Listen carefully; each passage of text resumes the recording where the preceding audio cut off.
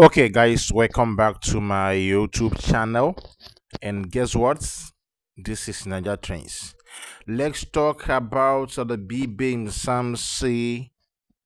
Um, these ambassadors, BBMzansi ambassadors, and a couple of people are be asking questions.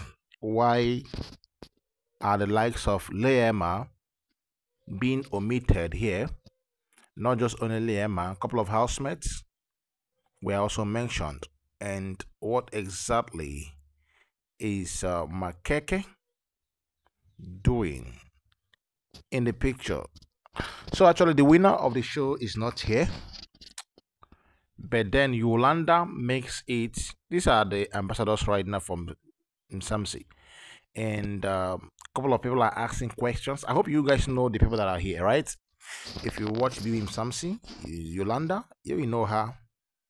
Zee in Sinaye, are dating, Makeke, I have mentioned.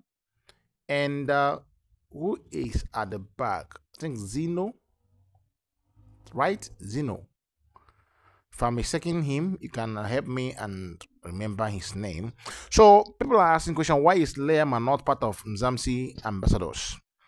And not just only Liema, a couple of the housemates we are mentioned and uh, they put Zee. Why Liema, who also was part of the show, I mean, those that brought the content according to them.